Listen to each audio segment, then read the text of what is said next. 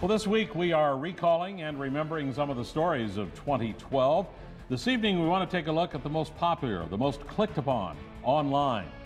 They're among the 15,000 stories that were posted to fox11online.com. And of course, people were more interested in some stories than others. That's true, no matter what the uh, medium it may be. Scott Hurley takes a look this evening at the five most popular online stories of 2012. In a year of odd stories, the fifth most popular on Fox11Online.com was one of the weirdest. In June, police pulled a car from the bottom of the Fox River in Green Bay. I just had to come and see it. You know, it's not every day they pull a, you know, 10 to 30 year old vehicle out of the river. It was a spectacle as the car, covered in mud and zebra mussels, surfaced. Police eventually determined the car was stolen from a Green Bay bar in 1979 and had been at the bottom of the Fox River ever since. That story received 42,698 page views this year. Coming in at number four was a story that warmed the hearts of many in northeast Wisconsin and around the world. Travis and Acela Ullman, a pair of soldiers serving in Afghanistan, made a surprise trip to the Fox Valley to see their family. Words can't describe it.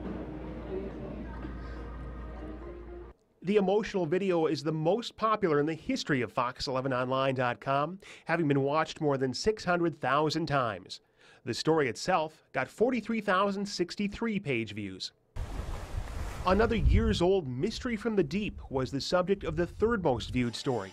In August, scuba divers found the remains of one of their own in the waters of Lake Michigan in Door County.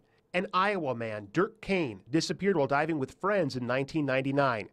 When his body was found, it was still covered with his diving gear. Because of the pressure and the depth that it's at, there isn't a lot of oxygen down there.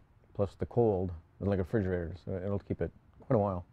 People clicked on this story 46,544 times. It seems fitting that in a year with six elections, an election related story comes in at number two. A little known state law came to light this year. It says you can't post a photo of your completed ballot. The law, designed to discourage buying people's votes, became an issue in this age of social media. I didn't know that that would be something somebody would even think about doing, but I suppose in this day and age that, you know, all the different um, medias that uh, people are doing that. The story became popular when it was first posted in May before the gubernatorial recall election, and then people found it again before the general election in November. All told, it had 62,167 page views. Coming in at number one was an earth shaking story. For days in March, mysterious booming noises plagued the people of Clintonville. Eventually, the U.S. Geological Survey determined that a series of earthquakes hit the area. They use the word swarm. This could be its own individual earthquake, so they don't make it sound like these are aftershocks like they talk about out west. And it was a swarm of website visitors who clicked on the story 134,772 times. You can take a look back at all these stories, plus see an interactive timeline of the top stories by month. That's at fox11online.com. Mouse over Good Day Wisconsin and click on Web Watch. Scott Hurley, Fox 11 News.